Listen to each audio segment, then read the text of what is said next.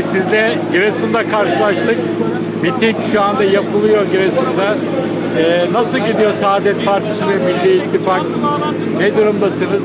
Temiz Teşekkür ediyorum Sayın Çakır. Gerçekten gerçekten el öpülecek bir teşkilata sahibiz. Her şeyden önce onu net olarak belirtelim. Teşkilatımızın her bir ferdine şükranlarımı sunuyorum. Çünkü karşımızda hazineden milyonlar alan hatta yüz milyonlar alan partiler olduğu halde bizim inanmış kardeşlerimiz, bacılarımız, gençlerimiz, alperenlerimiz, mücahitlerimiz kendi harçlıklarından kısarak, çocuklarının okul masrafından keserek, mutfak giderlerinden kesinti yaparak işte gördüğünüz bu mahşeri miting gibi toplantıları tanzim ediyorlar. Hele iki kardeş partinin bir araya gelmiş olması kardeşler arasında daha bir kaynaşmaya, daha bir heyecana yol açtı. Kanaatimiz şudur, yapılan anketler de onu gösteriyor. Baraj problemi yoktur. Bu seçimde olmasa bile önümüzdeki seçimin tek partinin iktidarı, ittifakımızı oluşturan bu gönüldaşların birlikteliği olacaktır. Bundan emin olun. Şu an biz Milli İttifak olarak saadet çatısı altında seçimlere birlikte giriyoruz. Aziz milletimiz bize Milli İttifak ismini yakıştırmıştır.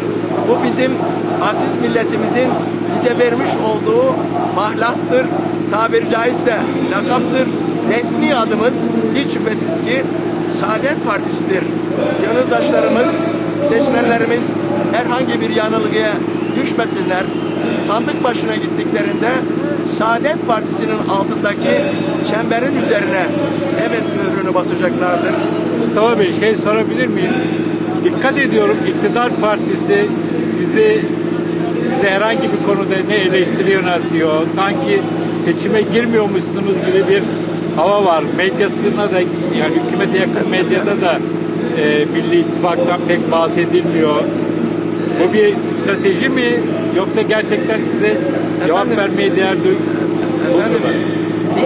e, iktidar partisinin korkulur rüyası, en korkulur rüyası, hatta kabusları Saadet Partisi'dir. Milli İttifak'ın temsil edildiği Saadet Partisi'dir. Burada ben aziz milletime şunu söylüyorum. Eğer eğer Milli İttifak meclise girmeyecek olursa bu seçimi yapmanın hiçbir manası yoktur.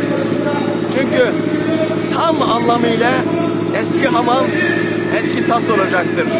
Al bir partiden iki milletvekili, ver öbür partiye iki milletvekili.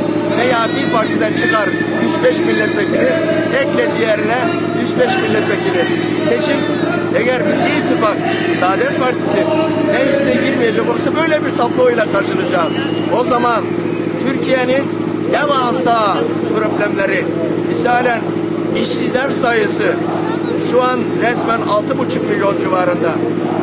Üniversite gençliğimizde eklediğimiz takdirde 11-12 milyon civarındadır işsizlerimizin sayısı.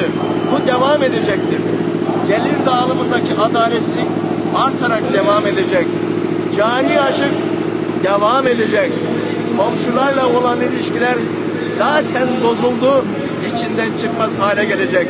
Türkiye Allah korusun muhtemelen bozulma riskiyle karşı karşıya gelecektir.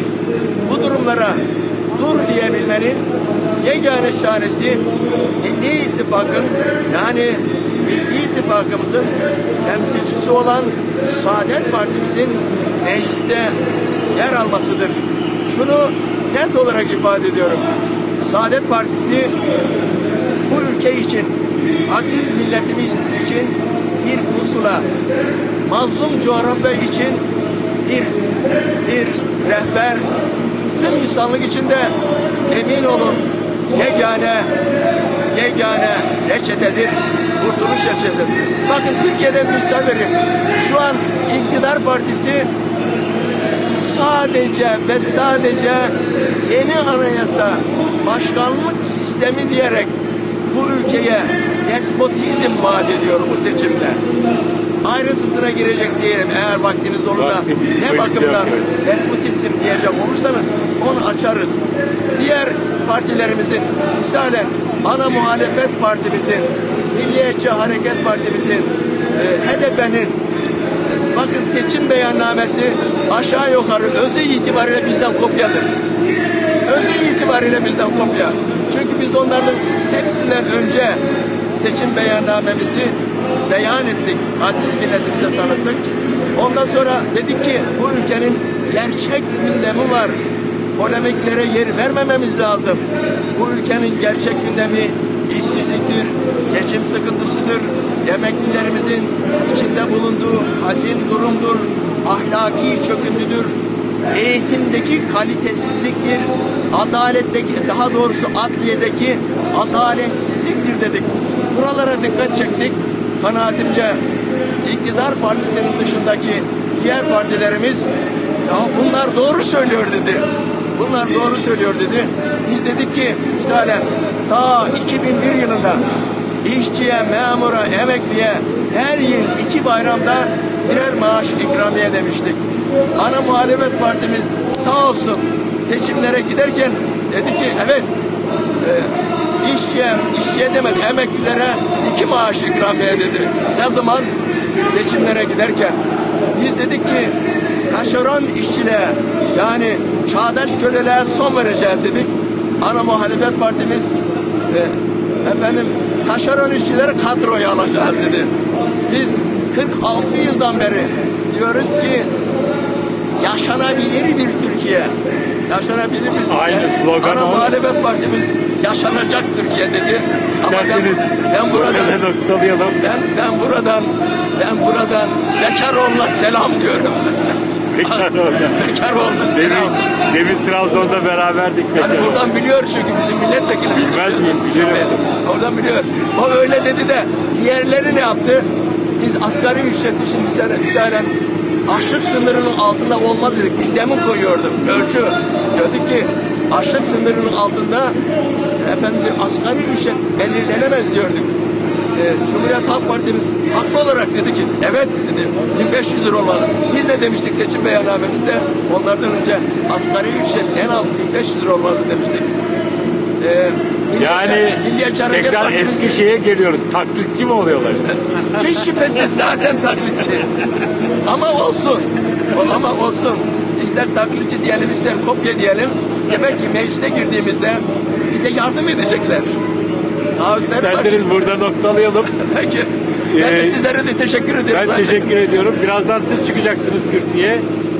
Sizi de orada dinleyeceğiz ama ben dönüyorum. Belki erkenden çıkmak olur. Yine Anadolu'nun bir yerinde karşılaşırız. Nasip İnşallah. oldu. Sayın Mustafa Kamalak Saadet Partisi Genel Başkanı'yla konuştuk. İyi günler efendim.